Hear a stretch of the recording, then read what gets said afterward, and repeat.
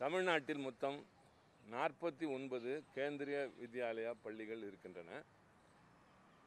இந்த பள்ளிகள் எதிலுமே தமிழ் பயிற்றுவிக்கின்ற ஆசிரியர்கள் இல்லாத காரணத்தால் தமிழ்நாட்டில் இருக்கிற மாணவர்கள் கேந்திரிய வித்யாலயா பள்ளிகளில் தமிழ் படிக்க வாய்ப்பில்லாத ஒரு சூழல். இது குறித்து கடந்த பிப்ரவரி மாதம் நாடாளுமன்றத்தில் நான் பிரச்சனை எழுப்பிய போது அவைத்தலைவர் மாண்புமிகு வெங்கையா நாயுடு அவர்கள் கல்வித்துறை இது குறித்து பரிசீலிக்க வேண்டும் என்று சொன்னார்கள். இது தமிழ்நாட்டில் மட்டுமல்ல எல்லா மாநிலங்களிலும் அந்தந்த மாநில மொழிகளை பேசுபவர்களுக்கென்று வகுப்புகள் பாடப்பிரிவுகள் இருந்திட வேண்டும் என்ற கோரிக்கையை வலியுறுத்தினோம். பின்னர் மார்ச் மாதம் அப்போதைய கல்வித்துறை அமைச்சராக இருந்த பொக்ரியால் நிஷாக் அவர்கள் எனக்கு கடிதம் எழுதி இது குறித்து ஆக்கப்பூர்வமான நடவடிக்கைகள் எடுத்திருப்பதாக எழுதினார்.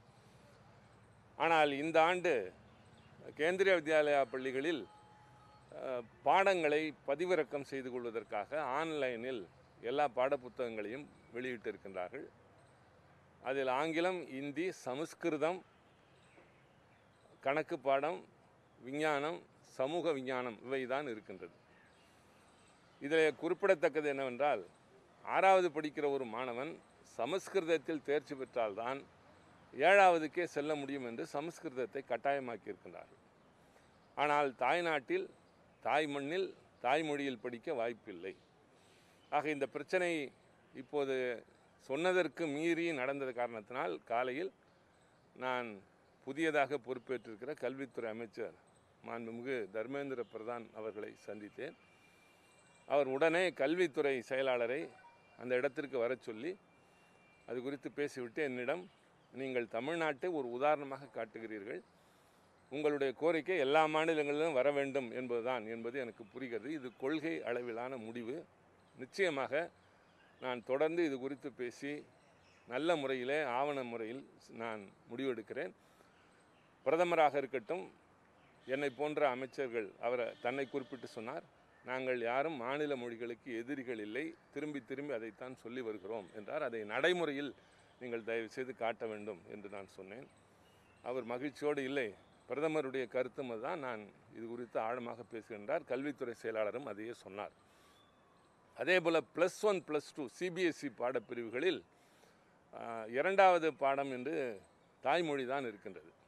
அதற்கு பதிலாக ஆப்ஷனல் என்று சொல்லி அப்ளைடு மேத்தமெட்டிக்ஸ் என்று ஒன்றை அறிமுகப்படுத்துகிறார்கள். ஆக பெரும்பாலும் படிக்கிற பிள்ளைகள் தங்களுக்கு எது சாதகம் மதிப்பெண்கள் பெறுவதற்கோ அல்லது வேலை வாய்ப்புக்கோ என்று கருதுகிற போது தாய்மொழியை தவிர்த்து அப்ளைடு மேத்தமெட்டிக்ஸ் போகிறார்கள்.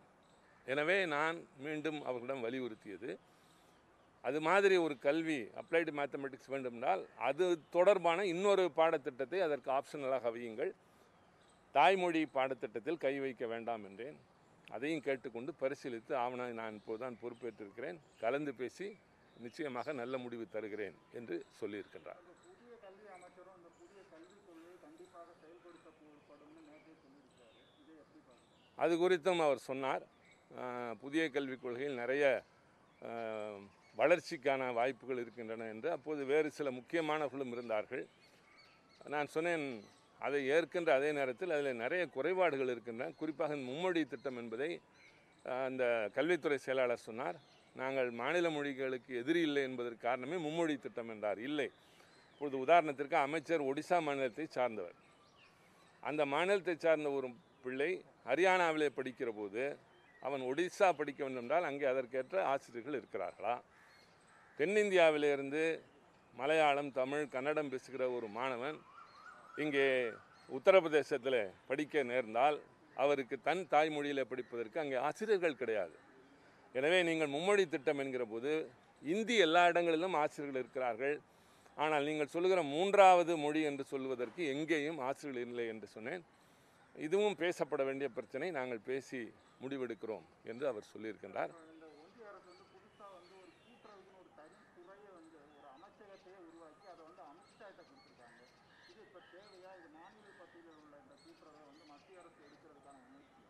அதாவது கூட்டுறவுத்துறை என்பது ரொம்ப இன்றியமையாத ஒன்று. இது மாநிலங்களில் இருக்கின்ற அரசுகளுக்கு கூட்டுறவுத்துறைக்கு நல்லது செய்வதற்கான முயற்சியா என்பதை பொறுத்திருந்து பார்க்க வேண்டும். நோக்கம் என்ன என்பதை இப்பொழுது ஆராய்வதற்கு நமக்கு சாத்தியக்கூறுகள் இல்லை. தொடக்கத்திலேயே நம்முடைய தமிழகத்தினுடைய முதல்வர் தளபதி அண்ணன் ஸ்டாலின் அவர்கள் இந்த கேந்திரிய வித்யா பள்ளிகளில் பற்றிய தன்னுடைய கருத்தை ஏற்கனவே சொல்லியிருக்கின்றார். கல்வித்துறை அமைச்சர் அன்பில் மகேஷ் பொய்யாமொழி அவர்கள் எனக்கு இந்த தகவலை தெரிவித்து நீங்கள் இது குறித்து பேச வேண்டும் என்று சொன்னார். இன்றைக்கு தர்மேந்திர பிரதான் அவர்களும் என்னிடம் சொன்னபோது நான் தமிழக முதலமைச்சரை சந்திக்க விரும்புகிறேன். அவரோடு நிறைய விஷயங்களை பேச வேண்டும் என்று சொன்னார். கல்வித்துறை அமைச்சரும் வருவார் என்று நான் சொன்னேன். நாட்டின் முன்னேற்றத்திற்கு கல்வி வளர்ச்சிக்கு ஆக்கப்பூர்வமான ஒத்துழைப்பை நாங்கள் நிச்சயமாக தருவோம் என்று சொன்னேன். அவரும் நாங்கள் நிச்சயமாக உங்களுக்கு எல்லா வகையிலும் உதவியாக இருப்போம் என்று சொல்லியிருக்கிறார் தர்மேந்திர பிரதான் கல்வித்துறை அமைச்சர் தமிழக முதலமைச்சரை பார்க்கணும் அவரை வாங்கன்னு சொல்லி வர கூப்பிடுறாரா எப்படி அவரை சந்திக்க விருப்பம் என்று சொல்லியிருக்கின்றார். வாங்க என்றெல்லாம் சொல்ல முடியாது.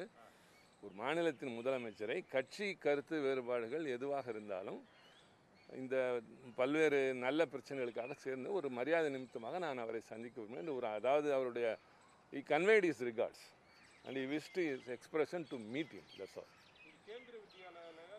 Tamil தெரிந்த டீச்சர்ஸ் அப்பாயிண்ட் கேந்திரிய வித்யாலயில இதுவரைக்கும் தமிழ் கல்வியே அங்க இல்லைன்றது மாதிரி தான் தெரியுது ஆ அதற்கு அவர்கள் சொன்ன பதில் வந்து முதல்ல சேர்க்கணும். தமிழ் அவர்கள் சொன்ன பதில் இல்லை. அதாவது மத்திய இப்போது சிபிஎஸ்இ பாடத்திட்டத்தில் தமிழ் ஒரு பாடத்திட்டம் என்று வருகின்ற போது வருகிற போது இருக்கிறது சிபிஎஸ்சியில் பதினொன்று பன்னெண்டுலாம் இருக்கிறது. மற்ற வகுப்புகளிலும் உண்டு. கேந்திரிய கேந்திர வித்யாலயம் இல்லை. அந்த சிபிஎஸ்இ பள்ளிகளில் தமிழ் சொல்லித் தர வேண்டும் என்றால் தமிழ்நாட்டினுடைய தமிழ் பாடத்திட்டம் என்னவோ அதையே அவர்கள் தங்களுடையதாக எடுத்துக்கொள்கிறார்கள். அப்போதுதான் நான் சொன்னேன் நீங்கள் சிபிஎஸ்சிக்கு எடுத்துக்கொள்ள ஆனால் கேந்திர வித்யாலயாவுக்கு எடுத்துக்கொள்வதும் இல்லை ஆசிரியர் நியமனமும் இல்லை. இந்த ரெண்டும் இருந்தால்தான் அது சரியாக இருக்கும் என்று சொல்லியிருக்கிறோம். கல்வித்துறை அமைச்சர் தமிழ்நாட்டில் இதில் மிகுந்த கவனத்தோடு மகேஷ் பொய்யாமொழி அவர்கள் இருக்கின்றார் முதலமைச்சரும் இருக்கின்றார்.